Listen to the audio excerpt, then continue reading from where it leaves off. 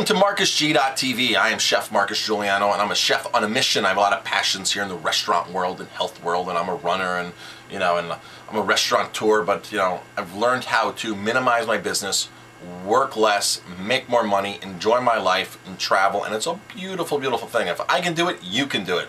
So let's get started. Here's my, I'm doing a video on video, I'm doing a series of videos, the top 50 mistakes I see other restaurateurs making, and it drives me crazy.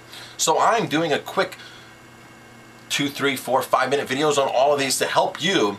You're not going to be able to get all the help maybe in all the videos, but it's going to get your mind going in the right direction. Please email me, call me, let's talk further if there's anything I can help you do further. So, number 46, mistake number 46 you guys don't do reviews enough.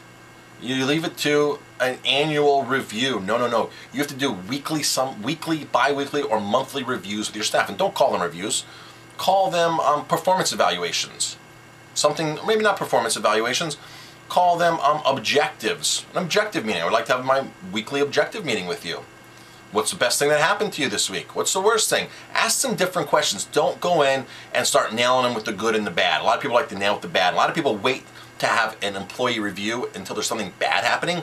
No, do it while it's good and the momentum's there, and then find out what their passion is. Find out how there's so I've developed specific questions again with the help of other restaurateurs and books. Developed specific questions that work, that are proven to work you ask them specific questions about their personal life, about their goals, their accomplishments, um, future, um, what they love doing, how much of a percentage of the time at work they is spent doing what they love. If they don't love doing your doing working at your place, why are they working there? Why do you have them employed? You've got to find these things out before they end up walking out on a shift, quitting, leaving you high and dry, or underperforming for six months or a year. Not at my place, sorry. Weekly monthly, regular uh, evaluations. Call them whatever you want. Evaluations a little abrupt sometimes, but performance, um, whatever, whatever you want to call them. But communicate. The key is communicate. Spend 15 minutes and communicate. Just because you're sitting down and doing those things doesn't mean they're getting a raise. You might keep that during your annual reviews, your annual big one getting a raise. But just communicate. That's the most common problem is not enough communication. And the day I started doing these, I found out that my staff wanted more responsibilities. They wanted, in fact, someone wanted a lot more responsibilities. I find out what their goals were, that I was a part, them working in my restaurant was a part of their future goals, which I had no idea. So of course they want more responsibilities, and they're willing to take it on. And when you can get your staff to do more, your job becomes easier. I'm Chef Marcus Guiliano.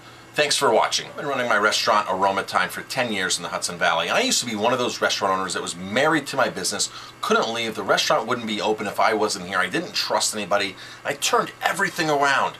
I've Been here 10 full years, like I've said. I've defeated all the odds. I opened up this fine dining restaurant, upscale restaurant in a small, depressed community. Um, I've learned a lot. I've made a lot of mistakes, and that's how I can confidently say I can help you. I can switch that mindset. I can teach you uh, tips and techniques that I've learned by doing it myself and then masterminding with some of the top restaurateurs in the country and marketing geniuses. It's been a great 10 year run. I don't regret a single part of it. Now the thing is, I work on my business. I don't work my business, which is a totally different thing. I can teach you how to do that. It's so simple with the tips and tools and techniques.